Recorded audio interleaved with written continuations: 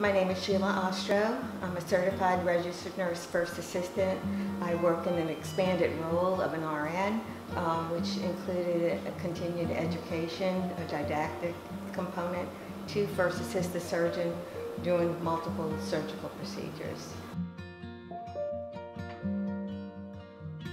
My contribution here is to work with the entire team and all the ancillary staff.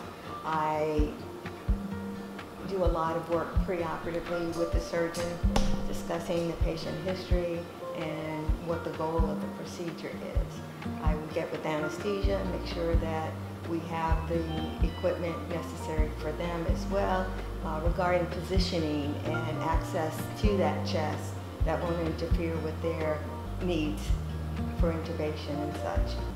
It's a dynamic process.